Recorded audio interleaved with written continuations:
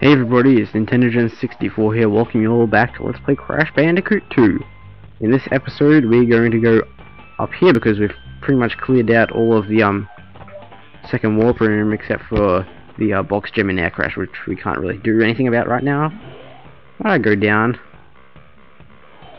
I wanted to go up to verse the second bosses of the game because there are two of them. And if you know who they are, well, you probably do already. So let's see. Let's meet them. Ooh, were they throwing swords at each other or something? I think they're in like some kind of a circus or something. I'm not too sure.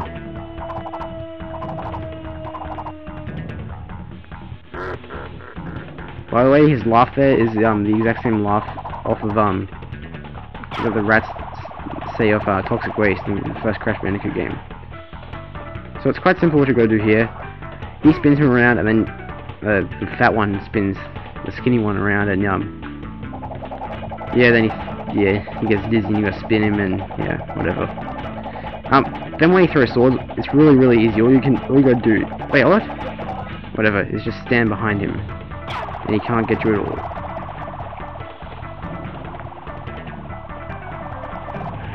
I actually did some research for this part and um, found out that the Komodo Bros were originally going to be in Crash Bandicoot 1, but I don't know, for some reason they took them out of that game. I, am not too sure why. But I think Crash Bandicoot 1 has a good variety of bosses, but we're not playing Crash Bandicoot 1, we're playing Crash Bandicoot 2. And Stage 3 is probably the hardest, he just like throws his swords at you. Oh, and he killed me! I didn't think I got that close to him. Oh well. 56, that's nothing.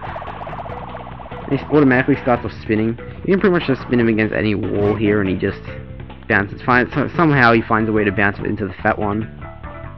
See, I don't even know their names. I think one's Komodo Joe. And, um... I can't remember what the other one is. I can't even remember which one Komodo Joe is. I think it's the skinny one. But yeah, that's right, because he's in, he's in um, Crash Bandicoot, uh, Crash Team Racing, I mean.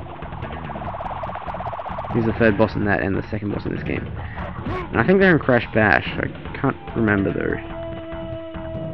Okay, you're gonna throw your swords at me again. Your uh, scimitars, I think they're called. Yeah. Whatever, just stand behind him and you can't do a thing about it. Wouldn't that hurt? Someone being spun by a sword. Oh, buddy, bitty boop. And you're dead. Yeah.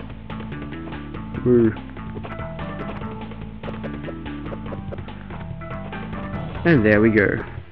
That didn't take too long. Even though I did die then, like, I think these guys are like the easiest boss in the entire game, but there you go. Okay, so Cortex is to talk to us again.